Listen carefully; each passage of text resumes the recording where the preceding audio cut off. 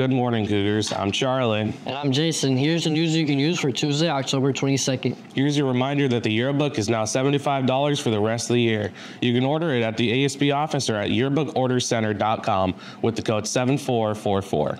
Also at the AS- ASB office, AP test readings are open until November 11th. Regular price is $99 and the reduced price is $62. Another reminder that if you took any pictures at homecoming on the Saturday, don't forget to send them in for the Moving Up rally to ctv at centerusd.org for a chance to get featured in the Moving Up rally. Now for sports, today there's a girls freshman, JV, and varsity volleyball game at Bear River starting at 4:30, 5:30, and 6:30 respectively.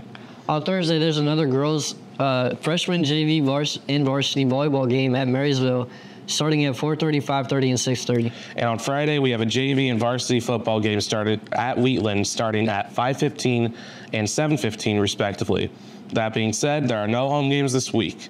Remember to check the CHS Cougars account for updates regarding upcoming games. If you're interested in playing soccer or doing wrestling, boys soccer and wrestling signups are both tomorrow during both lunches by the counseling office. See Coach Bailey about signing up. Those that are interested in being a part of the CHS Color Guard, there will be an interest meeting on Thursday, October 24th before school at 8 and after school at 3:35 p.m. in room 904. If you would like to know more about what Color Guard is, come on by to the meeting. You can reach out to Miss, Mrs. Maj, the art teacher, for more information. Also, today and tomorrow, there are Powder Puff signups at both lunches in the quad. The senior grad fair is today in the quad from 5:30 to 7. And now for our feature. What is the tallest mountain in the world? Mount Everest. Mount Everest. What is the world's largest desert? Uh, Uh, Sahara. the Saharan Desert. What country is the largest by area? Country. Russia. China. What does K stand for on the periodic table? Potassium.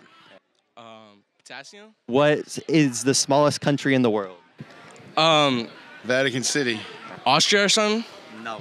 Uh, what year did the U.S. Constitution get ratified? Um, 1783, I think. 1862. It's uh, 1788. What year did World War I start?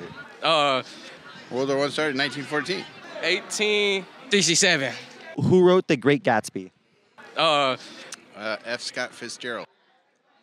ain't that right way?